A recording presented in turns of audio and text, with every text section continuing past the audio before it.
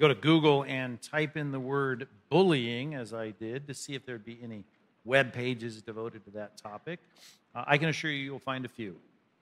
Uh, as a matter of fact, when I typed in, tell me about bullying, I found uh, 1.2 billion web pages. Not, not million, billions. 1.2 billion with a B, billion. So I took a few minutes to read all those pages. And I've got the executive summary for you right now. Are you ready? They're against it. They're against it. Every one of them. They're against it. Against, cyberbullying and bullying at school. They don't want your kids bullied, and bullying at work, and there's racial bullying, and there's like a disability bullying, and there's every kind of bullying in the world. But I couldn't find any web pages that were for them. They were just wholly against it. Just don't don't do it. um, I have it on good authority that no matter how many websites there are against bullying, um, it's going to keep on going on. It's going to. And my authority is uh, the risen one. Perhaps you know him. Uh, he rose from the dead. Says all authority he has in heaven and on earth. And he said this, John 15, verse 20. He said, uh, If they bullied me, which they did, they're going to bully you. Now, I know that's a that's kind of a free translation of that passage in John 15, verse 20, but it's not an inaccurate one, I can assure you of that. The word that's used there is a word that you could replace for what people mean by today's word, bullying. What they mean is like to intimidate, to harass, to belittle, right? Even physically bully you with, with their, their actions, to, uh, to ostracize you, to exclude you, uh, to somehow try to make your life difficult. That's bullying. And, and certainly Jesus had that in mind when he said, if they persecuted me, they're going to persecute you, because all the things he says about persecution, it runs the gamut, all the way down to just saying bad things about you, saying things behind your back. He talked about that, that they're going to revile you and exclude you and say all kinds of evil things about you. He says, it's going to happen because no servant is greater than his master. If I'm the top of this pyramid here and, and I got bullied, oh, you're going to get bullied. Now, um, I don't care how you can have you can have 1.2 gazillion web pages against it. You wag your finger at everybody and say it's bad, it's bad, you shouldn't do it. It's going to happen. There's going to be bullying in particular against Christians, I assure you, all the way to the end. Matter of fact, it's going to go from bad to worse. And, um, and so there's no passages in the Bible that you can find that are going to say, here's how you get rid of that. Here's how you stop people from persecuting. Here's how you stop people from reviling. Here's how you stop people from bullying you. You, you won't find those passages, but you'll have a lot of passages that'll say, here's the kind of bullying you should expect, and uh, here's what you ought to do about it. And those are very helpful passages. And, and I've called this series for the next eight weeks, I've called it uh, Christians on Trial. And, and, and, and there are always going to be that, there's going to be that sense of like you're put on trial, put you under the microscope. They're going to analyze you, and they're not going to analyze you fairly because you ally yourself with Christ. Like I stand with him. And because of their ridicule for him and what he said, they're going to do the same to you. Jesus said that's going to happen. And, and what we're going to study in chapters 24, 25, and 26 for the next eight weeks, which, by the way, is like, like light speed uh, for the, through the book of Acts, right? Since we've been in it since I was 16, we've been studying Acts. Um, it's, it, I know, we're gonna, this is fast. But Paul goes through trials, and a lot of them are the same. Matter of fact, he repeats a lot of these things in, in these trials. But he's on trial starting in chapter 24 before the governor of the whole area of Judea southern Israel. He's in charge. He's a, he's a Roman official sent from Rome across the Mediterranean, and he's in charge of this area. And Paul is taken there and he starts a trial. It's the first real, like, serious, like, legal trial before the Romans.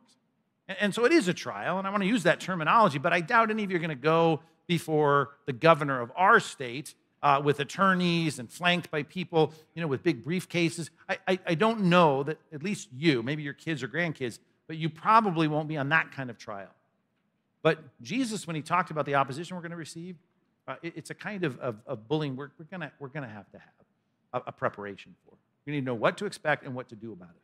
And Paul gives a great primer by his life, kind of giving us a template of the, this is the kind of things you should expect, and here's how you should respond. So we want to look at that for the next eight weeks. We're going to start with the first nine verses And I want you to look at it with me because we're going to find answers to how we should deal with what we're going to deal with. And while we have to attenuate a bit of what he's dealing with, because he's literally on trial for his life, this is where this is going to go in the book of Acts. Uh, I, I hope that your bullying is less than that. Uh, and I hope that it will be for our lifetime. Perhaps it won't, but whatever. We're going to get ready by looking at this and kind of saying, well, how does this apply to us today? We'll find some answers in the text today. So turn there with me. Acts chapter 24. We've only got time for the first nine verses, and we really don't even have time for that. that never stops me, so. Acts 24. You followed me, I hope, in, in, in, where we're at. And Paul here now is finally taken from Jerusalem to Caesarea on the Mediterranean coast. And it says, after he got there and he's there, it says, after five days, verse 1. The high priest Ananias came down with some elders and a spokesman, one Tertullus. Okay, down. They're coming from Jerusalem. Everything's down, even though it's northeast, or I'm sorry, northwest from Jerusalem, still down. And, and that's directional indicators whenever you're coming down from Jerusalem, because it's an elevated place and the most important city in the mind of the Jewish people. Luke says coming down. So coming down to Mediterranean, who is? Well, Paul got there with a big entourage and, and a whole protective, you know, service and protective custody all the way to Caesarea. But now we have the high priest. He's the number one guy in, in religious Judaism of the first century. His name is Ananias, and he's coming, and he's got a whole team of the elders. In other words, the ruling class of Israel, probably members of the Sanhedrin, the, the, the Supreme Court of Israel, and a spokesman. This is an interesting Greek word, probably referring to a, an official lawyer, like a, like a litigator. Uh, he's an orator, he's a, he's a rhetorician, he's one who's able to stand up and argue a case before Roman officials. That's probably why Tertullus, why he has the name that's not a Jewish name. So he's retained by the Jewish leaders and he's going to argue his case. Maybe he's done it before. I assume he has. These Jews are smart. They're probably going to get a guy that's experienced and he's going to come and he's going to lay the case before the governor named Felix and, and they're going to put Paul on trial. Verse 2. And when he had been summoned, Tertullus began to accuse him, that's Paul, saying, since through you, right, talking to Felix now, we enjoy much peace, the lawyer saying, since by your foresight, most excellent Felix, reforms are being made for this nation in every way and everywhere, we accept this with all gratitude. But to detain you no further, we know your time is important, Felix. I beg you in your kindness to hear us briefly. Super sicky sweet there, right? It's more than like if it please the court and your honor. This is like he's leaning into this. And now here it comes. Verse 5 For you found this man a plague, right? Kevin, you're such a disease, right? This is like you're, you're, you're, you're just laying into this with an ad hominem argument. You're just, this guy's a bad guy. He's bad. He's a plague. What does he do? Why? Because he stirs up riots among all the Jews, not just in not just in Israel. I mean, Asia, like the whole. He's messed up the whole world. This this disease, this man named Paul throughout the whole world. Because he's like the top dog. He's the ringleader. He's the one whipping up these people of the sect of the Nazarenes. He's even tried to profane the temple, but we seized him. Speaking on behalf of the Jews here, the leaders. By examining him yourself, oh, amazing Felix, right? You look so good today? You will be able to find out uh, from him about everything of which we accuse him. And then the Jews, man, they were like, yeah. They joined in the charge, affirming that all these things were so. Maybe it's more like the, the parliament in, in, in England, right? It's like, they, they, I don't know, they're like barking up, everybody, yeah, yeah, yeah. Or maybe this is a, a reference to them bringing in, in people, whatever. Everyone just joins in. Bad guy, plague, disease, riot guy, you know, sect, ringleader, bad guy, profaning religious, you know, people in Jerusalem, and off they go. Paul starts his defense in, in verse 10. That's next time. Let's just look at this, right? The charges. Now, again, we have to attenuate a little bit, right? We have to bring it down from you being on trial with lawyers flanking you uh, and, and, being accused and in the, you know, in the, in the witness box. And, and we're going to think, okay, what kinds of things is, what kinds of things are happening to Paul? What are they saying about Paul that they might say about you? Because Paul is a follower of Christ. He's a proponent of Christianity. You're a proponent of Christianity, I trust, if you're a Christian. And what are they going to say? What kind of stuff should you expect? So let's give a heading to this and then let's just analyze the charges and, and let's just head it this way. Expect criticisms like these. And for you, I'm assuming it's just criticism. It may accelerate to something greater. You might lose a job over it, might lose a client, might, might lose a promotion, might lose some friends. Uh, I don't know. I mean, who knows? You could lose a lot. But it starts with the criticism, it's the opposition. Okay. Now, what is the opposition? You notice the verses next to this first point take us right to the heart of it in verses five and six. And I want to start with the charges. Now, four things we could say. One of them is kind of a header to it all, but it starts with, you know, you're a plague. This guy's a plague. Verse 5 We found this man a plague. That's what he is. Who stirs up riots among all the Jews, right? All the Jews throughout the world, ringleader of the sect of the Nazarenes, even tried to profane the temple, but we seized him. Okay, that's the charge. Let's start with the first line. Okay, we'll get our letter A from this. You're a plague. It's not, a, it's not, it's not nice, right? You're not nice. You're, you're, you're just bad. You're bad. You're just bad for, for the world. You, and all these are plurals that I'm going to have you write down. So, y'all, if you're from the South, right? You need to know, letter A, here's what they're going to say about you, even though you might not go to court, might not go to jail. They're going to say same thing they said about Paul, because you're going to stand with Christ, he stood with Christ. Letter A, they're going to say, you're bad for society. You're all bad for society. You, you and your church and your group, you're just bad. You're bad for, for society. Or to put it in the words of a website that I looked up, just to, didn't take me long to say, what are, what are people saying about Christians these days? Here, here was the, the, the headline Christians, they are a scourge of humanity. I go, oh, okay. I mean, cause trouble, we're, upsetting everything everywhere. Now, you know, anyone can get a web page, right? There's, there's 1.2 billion on bullying. Clearly, anyone can say anything. I get that. How about best selling books? That have really broken all the records for selling books about religion. And they're not from religious people, they're from atheists. And you know, you've studied a little bit about the opposition to Christianity in our generation. It really started with these four horsemen of the new militant atheists that have gone after us. And so go back to the turn of, of the millennia here, right? Beginning of the 2000s, and think of some of the things that were written about us in these books, okay? Um, here's Christopher Hitchens in his book 2008, page 58. Uh, Christians, talking about us now. They're violent, they're irrational, they're intolerant, they're, they're allied right, to racism, they're tribal, and they're full of bigotry. Um, you could say you're a plague. That's what Christians are. You become a Christian, you're bad for that's not good for society, right? That's not good for Harris, right? And and, and Hitchens, they, they keep going. You can add Dawkins to it in a minute, but they're they all keep going. Uh, they say uh, we are, here comes, positively immoral. And religion, Christianity in particular, is a false picture of the world to the innocent. People just out there and then they're hit with the religious, hit with us, Christians, right? They're just fine, whether it's in Thessalonica or Colossae or Ephesus or, you know, Orange County or, or, or, or middle of, of Phoenix or, or in, in Cleveland, doesn't matter. Christians come and they start messing it all up. We are the kind, it says here, that are promoting this eternal reward or this eternal punishment, this bifurcation of where you're going to go when you die. That's what Christianity is all about. And they impose impossible tasks and rules upon people. We start telling people, like, you shouldn't look at pornography, right? And, and you shouldn't cheat on your wife, and, and you shouldn't cheat at work, and you should tell the truth. You know, you shouldn't curse, all these things. Impossible, right? It's impossible. You're saddling us with all this guilt, right? And they encourage an extreme self centeredness Ultimately, they're saying they're just a bunch of self centered people and full of conceit. Okay, these are the charges against Sunday school teachers in Nebraska, right? Uh, Christian college students in Kentucky, right? People like us who gather together to read the Bible. This has become, and again, they, these guys are selling way more books than your pastor will ever sell. More people are reading what they write than, than, than, than me and 10 pastors combined. This is, right, an increasing view of how people look at Christianity. And the more our society continues to quote unquote progress as they slide off uh, you know, the table into, into the garbage can, right, we're going to continue to have this accusation against us.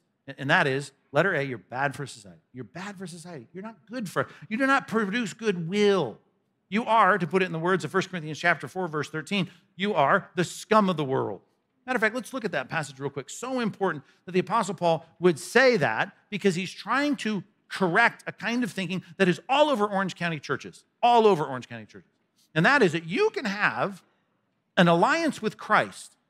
And not only will he make your life better, but as he makes your life better, right, and, and, and you are healthier and wealthier, and your skin is clear, and you have more hair on the top of your head, right, you will ultimately have really the respect and accolades of everyone. They're wondering, like, how are you not on, you know, bipolar medication? It's amazing. You're great. We want to learn from you. We want to sit at your feet and learn from you, oh Christian, so blessed in your life. Okay, this is the kind of tripe that goes on in a lot of places as they're pushing a Christianity in a culture, by the way, that is pretty well off, upper middle class Orange County. If you've heard me quote the book 1 Corinthians before, and I'd like you to turn there, 1 Corinthians chapter 4, I, I think you've heard me say this. Corinth in the first century was the Orange County of the ancient world. They, they were well to do. I mean, it wasn't Rome, it wasn't Athens, but they were doing really well. This was not Bel Air, right? But it's Orange County. These guys, they're doing well. Now, Christ comes to, to Corinth, and uh, people start adding Christianity to their portfolio of stuff. You know, along with their, their bike rides in the morning and their Peloton and their crunches and, you know, they're eating their, their strength juices and their, their essential oils. They, ah, now, I got Christ now. This is good, really good for me. And they start to sense this, it's going to better, this is a life betterment plan. I mean, my books on Christianity, they're right there in the self help section. And, and Paul just castigates them in this passage. Take a look at it. 1 Corinthians chapter 4, the Orange County, of the ancient world. Here's what he says. Let's start in verse 8. And by the way, if you read 1st and 2nd Corinthians, these are the two most, these two books of the New Testament are dripping with more sarcasm than any other book of the New Testament. Dripping with sarcasm. And, and 2nd Corinthians is even worse than 1 Corinthians, or better, depending on if you like sarcasm. Verse 8 Already you have all you want. You have all you want. Already you've become rich. And without us, you've become king. We've seen all your graphics for your church sermon series. You're kings and princes, and it's awesome. All that sarcasm, why maybe our translators the ESV put exclamation points behind it, because it's sarcastic. Because when he says, and would that you did reign. In other words, you're kidding yourself. Christianity does not make you have all that you want. It does not make you rich, and it does not make you influential in society where people are sitting at your feet saying, Tell us how you do it. That's not it. Would that you did have that. Would that you were there so that we might share the rule with you. Oh, our theology is going to get us there, but it gets us there when Christ comes back for that kingdom we've been praying for, when Christ arrives to get his church. And he sets up a kingdom on earth, and guess what? Then we will reign. But guess what, Corinthians? You're not getting there ahead of me, Paul says. Impossible. For I think that God has exhibited us apostles, which, by the way, you are there uh, uh, ascribing to this, uh, subscribing to this theology of Christianity, and you got it from the apostles, and the apostles are the leader at the top of the pyramid of knowing and living out Christianity. It is the apostles. And here you are, this church in nice suburban, you know, Corinth, and all of a sudden now he says, listen, we are the leaders of this movement, and we are like last of all. We're like men sentenced to death, like they're dragging us through the streets and want to kill us. We become a spectacle to the world, to angels, to men. Everyone thinks we're just trash. Matter of fact, they think we're dumb. Verse 10, we're fools for Christ's sake. Oh, but you are so wise in Christ, you smarty pants right? We're weak. Look at us. We're weak. We're in prison. We're being hauled out of town after they throw rocks at us. They, they leave us for dead in the streets of our mission field. Oh, but you're so strong. You got it. You're held in honor. You're becoming the, the, the employee of the month in your companies. We're, right, in disrepute. They hate us. To the very present hour, like right now, we can't get food. They won't serve us beverages. We're poorly dressed. We're buffeted. We're homeless. And we're, we're laboring, working with our own hands. No one's handing us anything. When reviled, we turn around and live by the Christian principles and we bless, but we are reviled. And when we're persecuted, we just, we gut it out, we endure. When slandered, like it's happening in, in Acts 24, 25, and 26, right, we entreat, we're going to have a, a, a, a defense, we're going to respond. We have become and still are like the scum of the world, the refuse of all things. Now you say, dude, you need some medication, a good psychiatrist, you need to slow down. Take a vacation, Paul. Scum of the earth, you're not the scum of the earth. You're a nice guy. We've read your books, right? You seem happy. No, we're the refuse, the dung, the, we're the poop of the world. That's, that's what he said. You don't see that on DaySpring cards, right? Christians, right? Poop of the world, scum of the earth. And Paul says, that's what we're experiencing. Oh, but you guys, you got it made. I get absolutely disgusted by some of the preaching that I hear going on on platforms by people that promise things they don't even experience and live. They don't even experience and live the stuff they offer to their congregations as they pass the plate and pretend that Christianity is supposed to make you popular and healthy and no zits, right? And, and thin base, uh, waistlines, and you'll probably just stand up straighter. It'll be awesome. These guys are influencers, they're not preachers. And they're telling you things that are not true. They're ripping people off, they're putting people in a place of, of, of hanging on to, biting into false hopes that will do nothing but be disillusioned. And these churches and these pulpits that are, that are proffering this stuff, you just need to know it's a revolving door. It's a revol- They come in, they start to believe what the preachers are saying, and, and then in time they go, This is disillusion. I don't like this. Is, but that's okay. Somebody else coming right behind him because we're standing on stage and saying, You get Christ, everything's gonna be great. He's so great. He's so awesome. Everyone's gonna love you. You're gonna be great. Family, fantastic, right? Your health, good. Your job, you're gonna ascend and soar. Nonsense. Here's what I'm telling you. You wanna, you wanna to, to ally yourself with Christ and subscribe to biblical Christianity? It's gonna get harder. You should expect that they're going to say you're bad for society. And, and you're not, uh, Paul says, look, look. I mean, as a, I can just read the passage. This is what it is. This is the answer. It's, it's a, a, a, a priority, value, expectation adjustment. Great sermon after Easter. Pastor Maya brought friends and everything. This is not what I wanted. It gets worse. But here's what I'll say. You may not have had to this week say, hey, you're a Christian, you're bad for society. I'll bet people have thought it if they know you're a Christian. Number two, I guarantee you've, you've heard this one. Go back to our passage, letter B.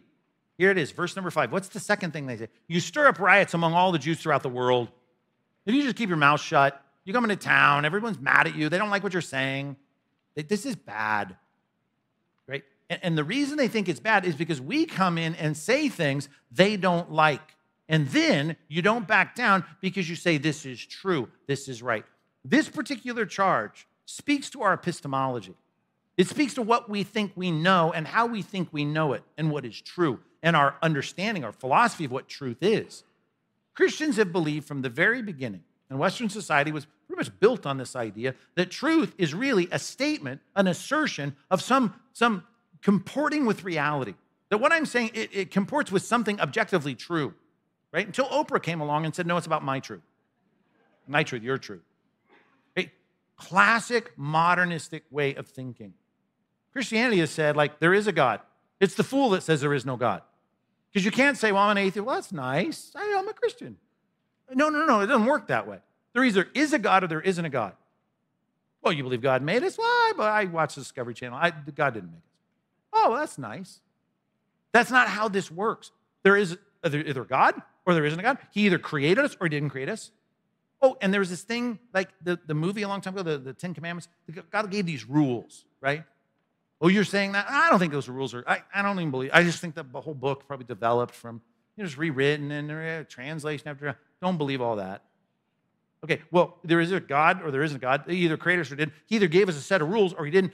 And then all that stuff about he's going to judge us, he's going to call us to account for what we do. He either is or he isn't. Right? It's either true or it isn't. Christianity gets a bad rap because people are saying this is a statement that corresponds to something that's real, something that is true. And if you disagree with it, oh, here it comes, here it comes, here it comes, you're wrong. Dun, dun, dun. You can't do that. You know what that is? That's being judgmental. You are judgmental. Let her be. You're going to be accused of this, right? You're judgmental, especially your pastor. Right? Your, your church, trust me, judgmental. Your church is judgmental. You are judgmental. Okay. Just by the way, just point out to the person that says that to you are you being judgmental about the fact that we're judgmental? What do you mean? Are you sure we're judgmental? Are you, are you saying we're absolutely judgmental? Are you saying that we're not not judgmental? Are you saying that we're actually like corresponds with truth that we are judgmental? And you're saying you've you're saying that. No, that's not my truth. We're not judgmental. Or no, but you're sure we're judgmental.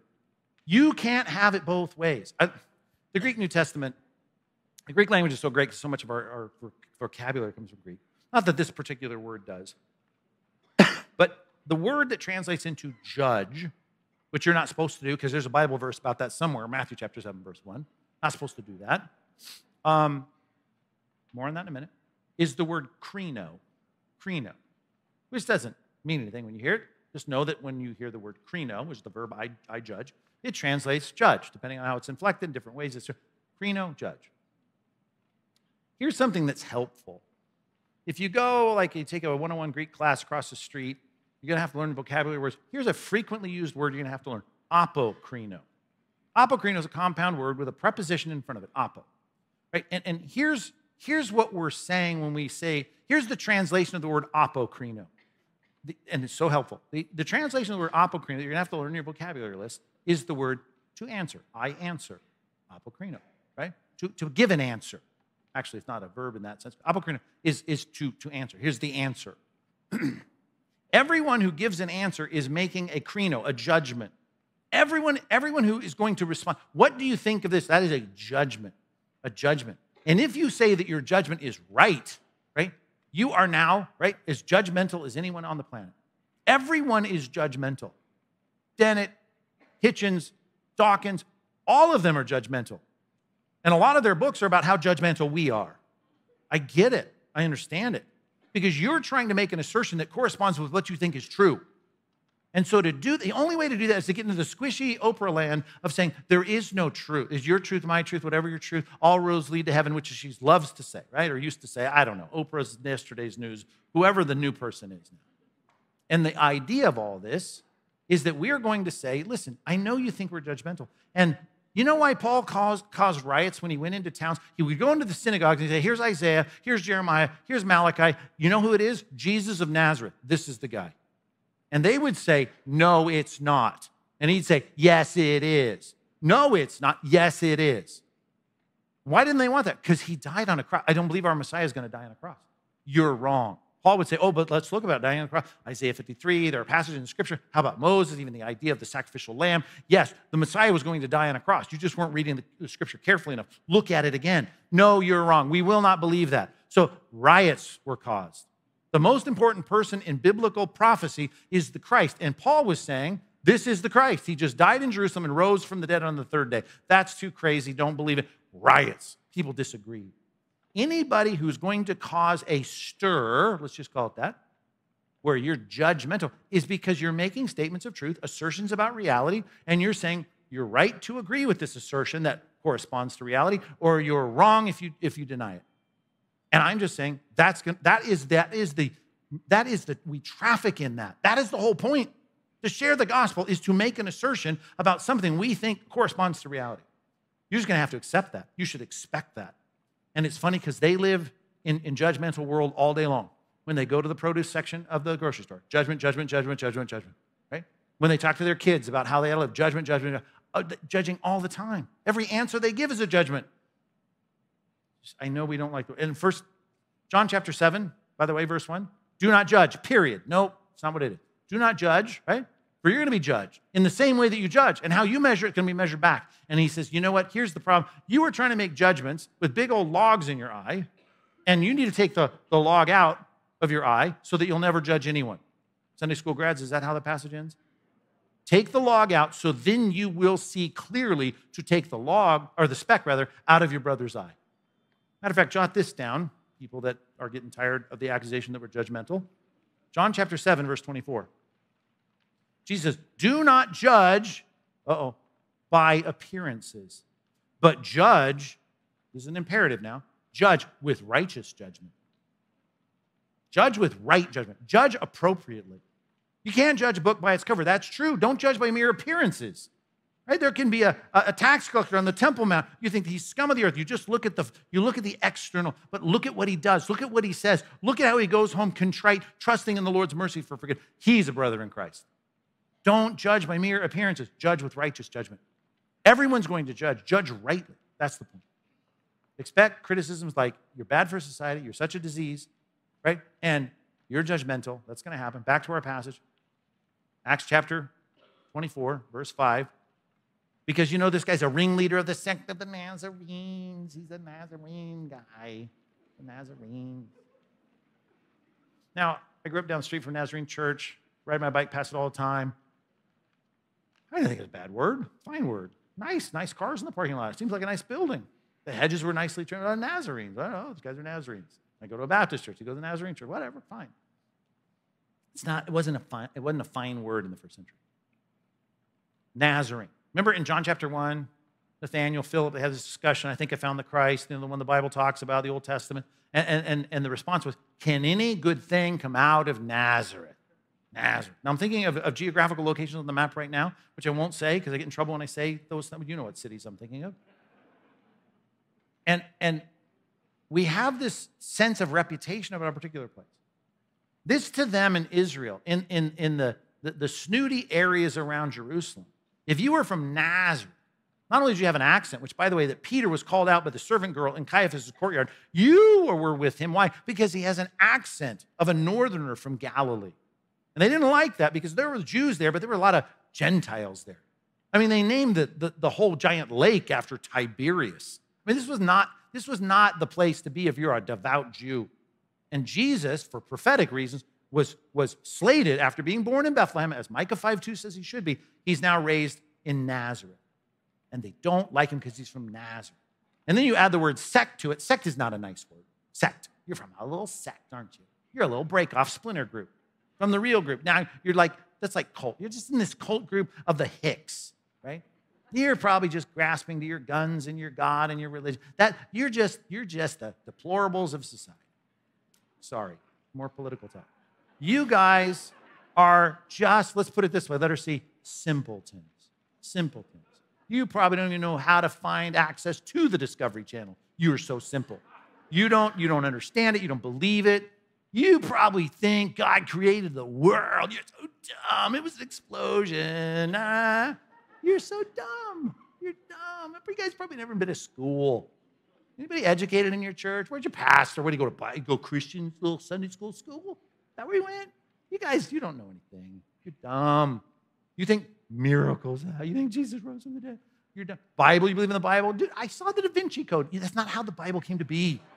You don't know that. I watched a whole 90 minute movie to learn how the Bible came to be. Your pastor's preaching from it like it's some authoritative book. So dumb. You're so dumb. You're so dumb. You know, at work, they think that about you. As soon as you speak up about God and you start saying things like, I believe you did, I think I created the world. Mm. Yep. Don't tell them you think it was in six days. Woo. Oh, dum, dum, dum. I'm just telling you this. Get used to being called a simpleton. The whole point, even earlier, as Paul was standing trial, when he believed that there was a resurrected dead body that came to life, and his, and his name is Jesus, split. Yeah, it did cause riots. And they thought, that's dumb. You're going to be called a simpleton. Just take some time at some point to read 1 Corinthians chapter 1. And just remember this. Start just in the middle. Verse 18. They think the cross is folly. Why? The cross is the apex of our theology. There is a God. He did create us. He did give us rules. We broke those rules. So he says, You're going to be cast out. But instead of being cast out, right, you're going to be able to be part of my team if you get the imputed righteousness of Christ and if your sin can be appended to his punishment. The cross is the centerpiece of that. The only reason I think I have a relationship with the living God and one day will meet him is because the cross. Dumb. And talks about the Greeks, they just want they just want more knowledge, want more wisdom. The Jews, there's no way our Messiah could have been crucified. No way. We know he's not the Messiah just because he got crucified. The cross is a stumbling block to the Jews, right? To the Greeks, it's folly, it's foolishness. And then he starts talking about the church. Yeah, and in your church, just remember this God chooses the base things to shame the wise things. He picks people, little runts, little red-headed runts like David, He doesn't take him from the, from the, uh, the, the, the military academy. He plucks him out of the field as a shepherd. And even when dad was visited by Samuel, like, I'm looking for a king. Well, here's all my sons. And God goes, Nope, nope, nope, nope. This is all the sons you have? No, I got one more, but he's just watching the sheep. You don't want to see him. He's short. Which isn't really a joke because Saul, the first king, tallest guy around, head and shoulders above everybody else. The short runt shepherd with no training, no military training, no military experience, right? He becomes the king. God takes the base things of the world to shame the wise. And the whole point in that passage at the end is so that we wouldn't boast before God. It isn't about you. We don't have more PhDs in this room than you might have, at, you know, at, in the faculty lounge at UCI. I get it. I understand. It's okay. God chooses just normal people to open their eyes to see the truth of the gospel. And guess what? One day everyone's going to learn that God did create the world. It's like He turns water into wine in a millisecond. He created the world milliseconds at a time in a six day period to teach us how to work in a given week. There's no astronomical reason that we should have a week. God created the world in six days. The whole point was to give us a pattern of work and rest. Whatever. You can debate me on that if you want.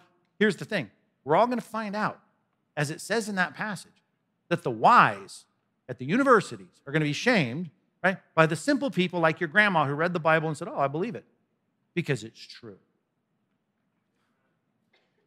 Simpletons, get used to that, get ready for that. It's foolishness to the world. How about this? Verse 6. He even tried to profane the temple. Are you still in the passage? Acts 24 6. He tried to profane the temple. Those Jews are going about their business. They got all these guys that dress well. They're, like, they, they're so sincere.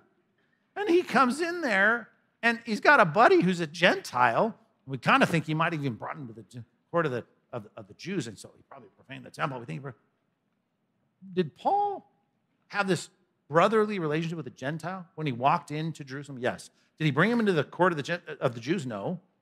This is a false charge, obviously, but they thought you are just not, you're not playing by the religious rules of our culture. Paul understood that. And people don't like it when you start saying, back to number letter B, when you start saying, well, this is true and that's not true. This is right, that's wrong. When you start saying that and start talking about the guys in saffron robes with bald heads and they don't wear shoes and they're so godly and look at them, they're burning their incense, they're praying all day, they live in monasteries. You're not telling me they're wrong. Don't tell me that. Don't tell. Wrong. And what does wrong mean in your theology? Going to hell? They're not going to hell. What are you are such a religious bigot. Put it this way, letter D. You start messing with religion, say your religion's right and their religion's wrong. You are disrespecting other religions. And that's the thing in our day. Well, disre- don't you disrespect me. This is like, like the, it's, the, it's the unforgivable sin. That you're saying the Muslims, right, praying five times a day, traveling to, to, to Mecca and Medina. They're, they don't even eat during Ramadan in the daylight hours. These guys are serious. What do you do? You volunteer for Fix It Day on a Saturday? Come on. These guys are serious about their religion. Don't you tell me they're going to hell and you're going to heaven because you just prayed some prayer one day. They will castigate you, they will belittle you, and they will say, You, one of your big problems is you think Jesus is the only way. And you're supposed to say to that, on the authority of your pastor, absolutely right. I think that because Jesus said that. He said that, and it makes logical sense. Jesus is the only way. That's what he said. He made it clear in multiple ways and said it as explicitly as you could possibly say it. In John 14, 6, right? There is, right? Nothing, there's nothing else but Christ. He is the way, the only way, the truth. He's the only truth, and the life. And no one comes to the Father, Jesus said, except through me.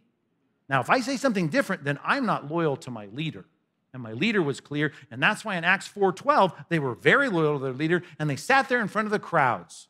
And they say there's no other name, no other person, right? Under heaven, given among men, by which we must be saved. And we're the only religion. You need to know this with a mechanism for redemption. Think about it.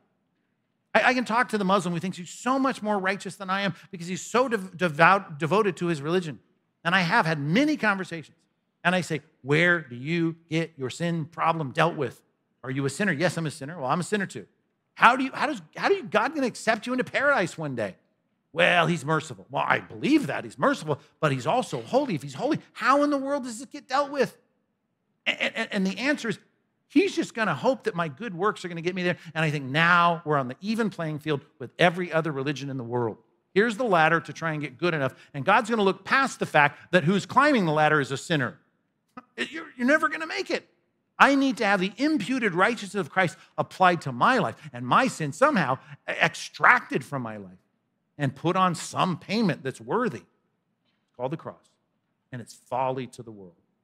And I am saying you're wrong. And if I love you enough, I'll tell you you're wrong. And I'll tell you, you ought to put your trust in Christ. He's not a prophet in your book that doesn't die and doesn't rise, right? that you, you have Isa in the Quran. That's nifty. That's super nifty, right? But he doesn't effectuate the means of your atonement. You don't even think that he died on a cross. So we got a big problem. You need the Christ of history, the Christ of the Bible, who takes away your sin like a lamb, the Lamb of God, takes away the sin of the world. That's the picture. The innocent dies for the guilty so we can go free. If that's disrespect for other religions, I guess sign me up for being called that. I'm not being, I'm not being belligerent. I'm not trying to be mean. Matter of fact, the only reason I'm sharing with my Muslim friend about being safe is because I care. Not a bigot because you state the truth. All right, that's kind of things you're going to hear. You are not good for society. All that stuff about sexual ethics and sanctity of life is not good. Your cousin tripping, making people feel bad. And then you're saying it like they're wrong. You're judgmental and you're dumb anyway. You don't even believe in the Discovery Channel. And, you know, you disrespect other religions because you think they're wrong. Okay. Verses 5 and 6. That, those are the accusations. Look at the tactics, though. The tactics are telling as well. Let's just run through these quickly. Yay, they say. They will be quick. Expect tactics like these. Number two, here are some tactics. Okay? First tactic is found in verse one. And after five days, the high priest Ananias came down with some elders and a spokesman, right? A, a rhetorician, a, a, an orator, a, lawyer, Tertullus. And they laid the case before the governor. They laid before the governor their case against Paul. Um, you got to travel from Jerusalem. You got to travel to Caesarea, where the court is. Um, you got to get this lawyer right, off some billboard in, in, in suburban, you know, Jerusalem, who's argued before the governor before. And you got to tell him the guy we, we hate is causing trouble all over the world. He's blaspheming in the temple, profaning it by bringing it. A, he's just he's just basically a disease. So I need you to come and argue before the highest official in the land. Guy goes, oh, okay, big case. Yep, we're going to do it next week. We got to travel for a couple days. Five days, be ready. Any attorneys in the room? You want that case? You know what that spells? That spells we're going to have you tell the powers that be what we think, and uh, please don't get confused with any of the facts. We already have the conclusion. We figured this out. Okay? So you just go and argue the case. You, you say what we, we, we tell you investigations, right? Due diligence, not going to have any of that. You know what we call that on the streets? We call that a rush to judgment. Letter A. Expect that. Every time someone criticizes Christianity, I want to ask them a couple of questions. Tell me about your investigation of Christianity. And number two, can you sit down with me and let's let's let's let's engage in some investigation. Okay? They don't want investigation with me because I'm a disease, right? Narrow-minded, bigoted disease. And they don't want to investigate it themselves because they've already seen several episodes on cable and YouTube and have watched the Da Vinci Code and even read half of it. They know what they're talking about. They don't want to sit down and reason together. And they don't have any time. They've already decided. They read some stuff on the internet. They saw some stuff on, um, on, on MSNBC. They, they know. They know. So they're not going to sit down and think this through with us. They rush to judgment happens all the time, and you just need to be ready for that. The preconceived ideas. I often ask people, have you read the Bible? Yeah, yeah, I've read parts of it. Uh, I, I know it. Okay, well, have you, like, I mean, uh, have you read it? No, read it, like the, like, like the whole thing. How about the New Testament? You read that? I read parts of it. You are a bunch of bigots. Okay, well, can, can you read it? Can we read it? Don't, don't have time for that. It's called the rest of judgment. It's a dumb tactic used all the time. Then, what's happening?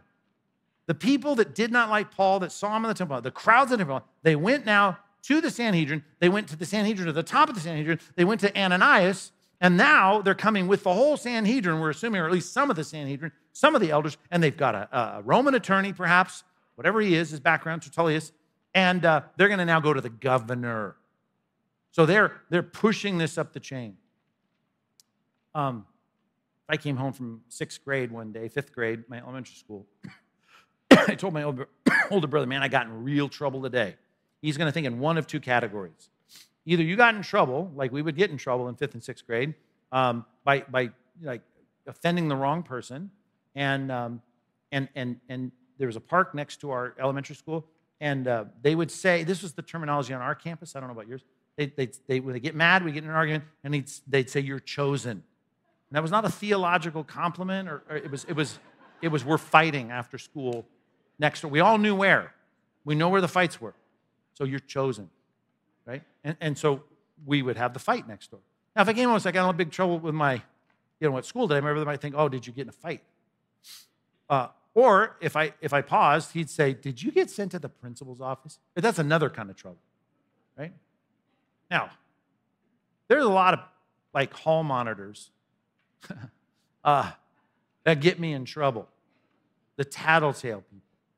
And uh, perhaps if the, if the ball, you know, snowballed big enough, I would, I would end up in the principal's office. Not often. You should know that. My parents are watching. I would not, it wasn't often. It wasn't often. And I'd get in a couple fights. Uh, yeah, not very, like to talk my, I talk my way out of most of them, but get in a couple fights. So one is like mano a mano. You're going to go fight in the, in the park next door. And the other one is the tattlers, right? And all the people that just don't want to deal with you, they keep pushing you up the chain so you can get in trouble. This is the tactic of the world. We're going to get you reported. I mean, we are just absolutely the narc society right now, right? Get you reported. You offended me. You, you were you were somehow, you did put whatever labels they put on so they can get you in trouble. Get you in trouble at work, get you in trouble in the neighborhood, get you trouble on the board you're on, get you trouble on the, on the, on the organization you're in, the guild you're in, whatever.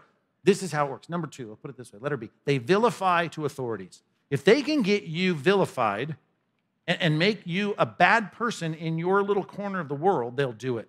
They'll even do it in families. If you got people that don't like your Christianity and you're one of the only Christians in your extended family, you watch. They will work to try and make sure that whoever the matriarch or the patriarch of your family, they don't, they're, they're going to complain. This is the tactic. It isn't like, let's sit down and figure this out. Let's read, let's, you and me, I don't like what you're saying. You sit down and let's sit down at a coffee shop and let us figure this out. You bring your case, I'll bring my case. I'll tell you why I don't like it. No, it's like, uh, they, they, they're bigots, right? They're, they're, you know, they're just afraid, they're phobic of this, that, or the other. Up the chain. And they get you in trouble that way. Some of you lost clients, some of you lost promotions, some of you lost jobs over that. Verses one through four, and I read it with enough sarcasm in, in my voice, right? So Tertullus starts leaning into all this. You already got Ananias, you got the elders, you got Tertullus, this guy we don't know anything about. And then, hey, he gets on the stand. Hey, Felix, Felix, you're so you have so much peace we have. You're so smart. You're foresight. You saw things for anyone else. Excellent, Felix. Excellent. Reforms are being made for our nation. I can't even believe all the things you've done for the nation. It's crazy. Every way, everywhere. I'm just all times, every just under every little corner. Man, we just look around and we just are so thankful for you. Right? And you know, we don't want to take you very long. I know you got stuff to do. And you look so nice. Your tie, by the way, beautiful. I beg you, in your kindness, you're so kind. How are the kids? They doing okay? Just hear us briefly. We got a disease we need you to deal with. Right? Paul is here. Just a jerk. Okay, all this kissing up that's going on here. I mean, there was a lot of that going on in Jerusalem before it got to Caesarea, now it's in Caesarea. Let's just call it this, and then I'll explain it. Letter C. They consolidate opposition. There's a consolidation of opposition why people being nice to each other against you. Have you noticed the alliances being built? You go back to the Old Testament. Absalom didn't like his father, right? He went around and ingratiated himself to everybody.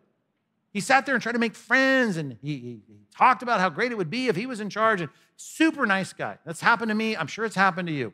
Someone didn't like your stand for Christ, and they are going to get people around you to oppose you. They're going to consolidate as much power. If they can't go up, we're going to have the mob that isn't going to like you. And the way they do that is they're so friendly to each other. Jot this reference down Luke chapter 23, verse 12. You can look at the two preceding verses. Herod and Pilate did not like each other. But guess what? Luke is careful to point out they became friends over their opposition to Christ.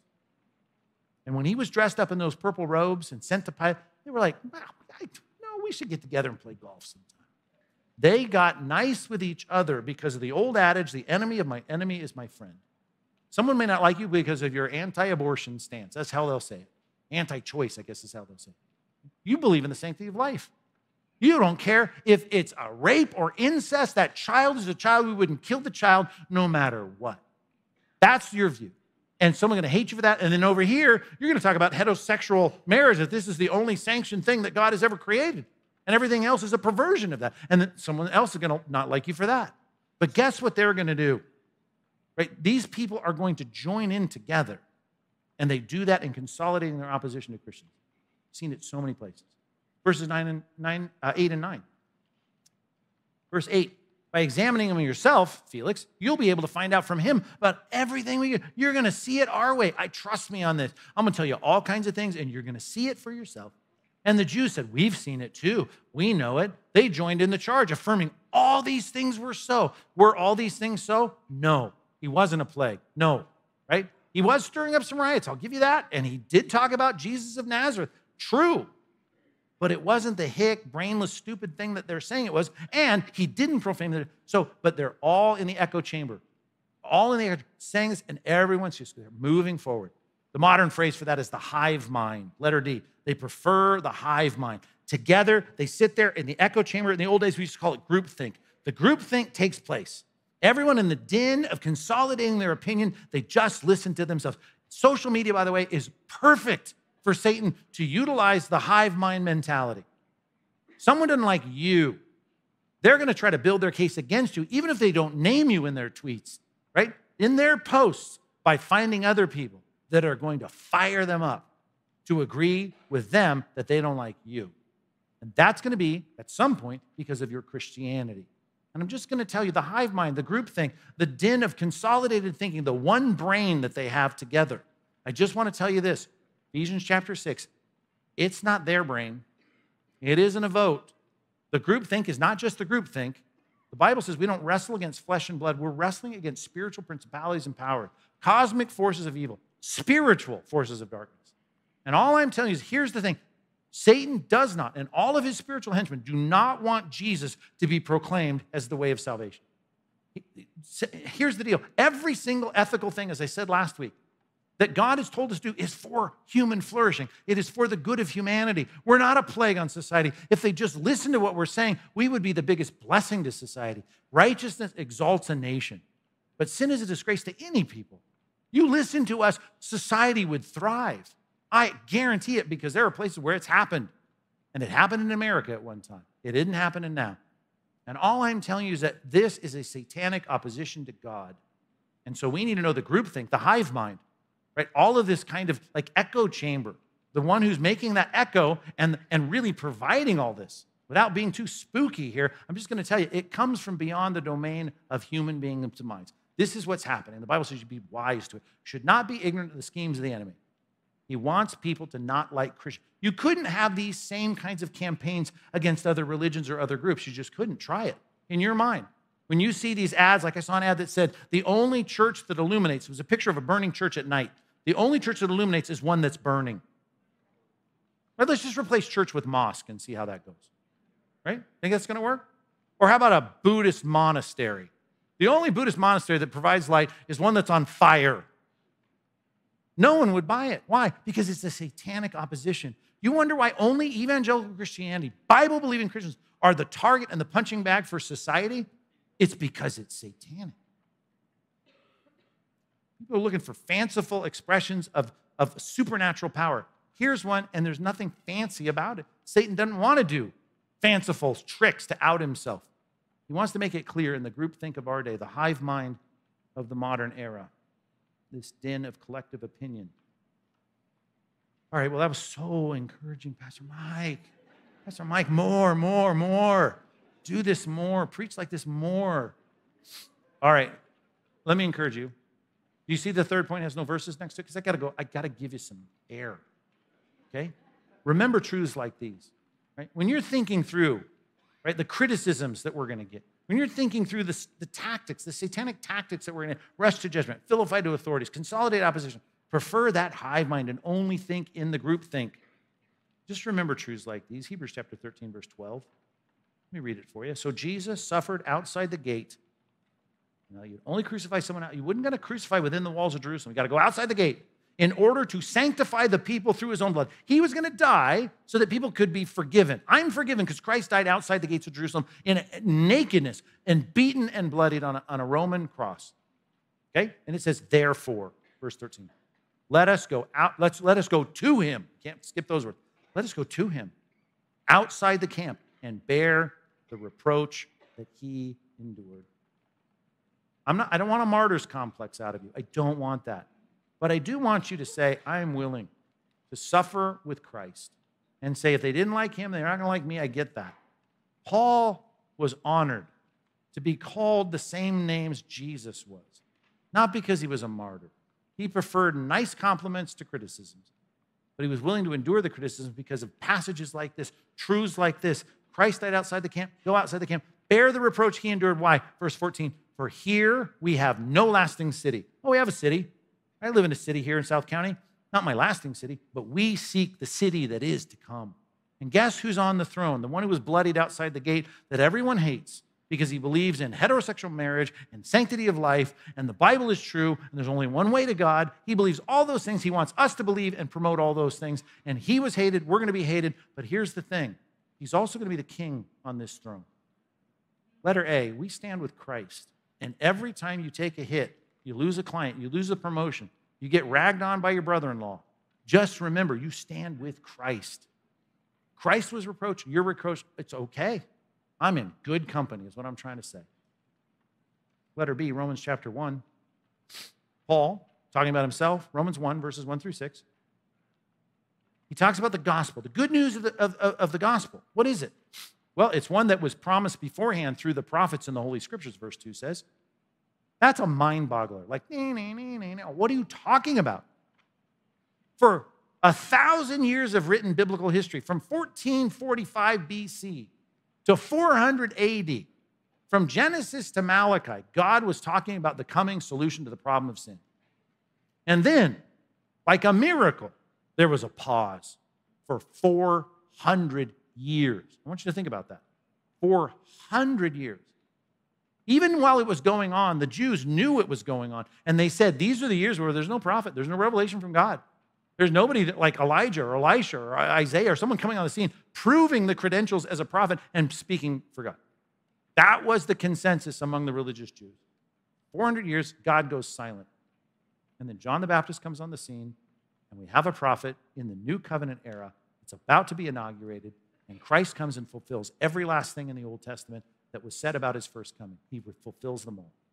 And the point is that you and I couldn't say, well, maybe the Old Testament was written you know, like after the Old Testament before the New. I mean, if because it looks like it's too like city he was born in, what tribe he come from, that he would die and suffer and rise again after. That's I was just written after the fact.